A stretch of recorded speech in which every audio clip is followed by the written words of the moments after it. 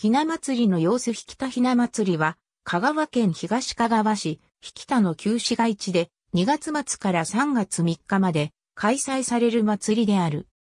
引田では、昔より女児が誕生すると、初節句に、この地域独特の引田びなと呼ばれる、ひな飾りを親族や近所の人に披露する風習があった。引田びなは、代理びなが5点入った5点びなと、ひな壇の横に市松人形を飾るのが特徴である。また、子供たちは家々を回り菓子をもらっていた。ひな人形等は、母親の実家が準備するのがしきたりであったが、豪華なものを各個競うように披露し合い、経済的負担も多大なため、周辺地域では、江戸期以前より、引き谷は嫁にやるなということわざが伝わっている。あまりに過敏であり、家計の負担も大きく昭和の終わり頃には、自治会の申し合わせにより自粛となった。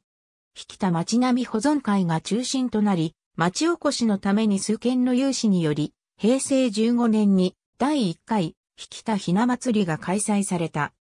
通り沿いに飾られるひな人形は古くは江戸時代のものから現代のものまであり、創作美な人形、地元の保育園自作製のひな人形など多様である。第7回となった平成21年は約90件が参加した。